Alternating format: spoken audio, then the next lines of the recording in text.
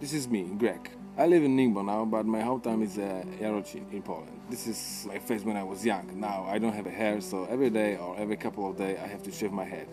It's not taking so much time as you see. This is only the hotel, but I love my place where I live in.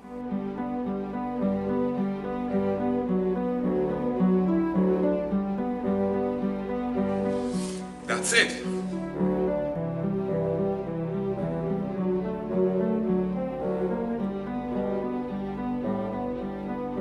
Love also eating.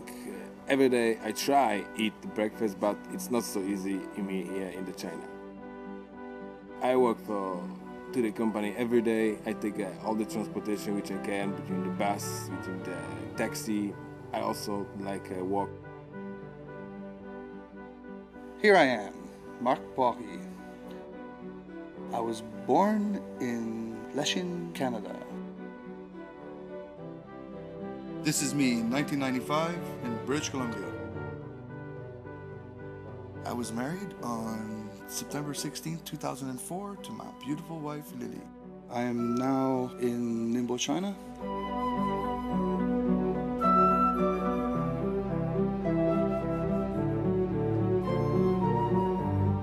My main mode of transportation are my rollerblades.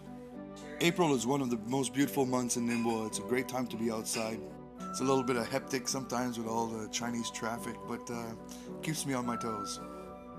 From my house to my office is a 10 minute commute every day.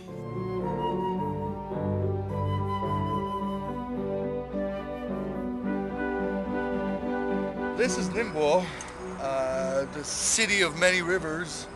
There's riverfront and bridges all over the place. Uh, this is where uh, we met, and this is where we live right now. Uh, it's a great city in near Shanghai. Uh, Yeah, I love this city very much. I, I stay here since two years and came here. This is it. This it was my first uh, first city in China, and I love the city. It's a quite good city for the for the living, and uh, I like be here. Yeah, because I have a lot of friends here. I have a Marx. I have a lot of foreigner friends. I have a lot of Chinese friends. I like being in China. Worked as a team. Yeah, That- we can we can work as a team. We can work as a team. Believe us, believe us. You can show us in the future, but we are the team, the really good team. Hey guys, thanks for watching. Hope you're back from you soon. Merci, bonsoir. Do widzenia, do zobaczenia.